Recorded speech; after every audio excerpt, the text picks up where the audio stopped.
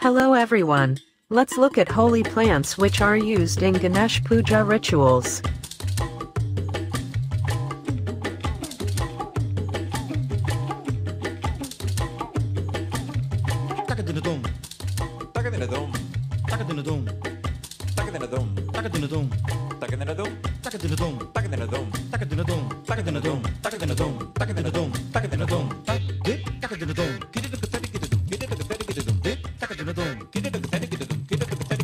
in the room.